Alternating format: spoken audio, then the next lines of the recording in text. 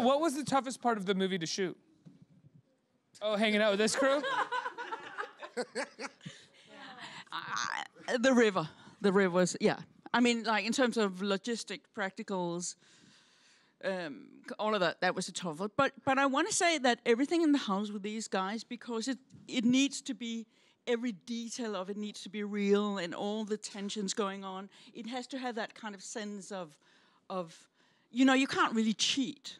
And, and nobody can cheat. And so so so when there's like a group of of of, of amazing actors and all of these guys and everybody who's not in this studio today, they're all amazing actors.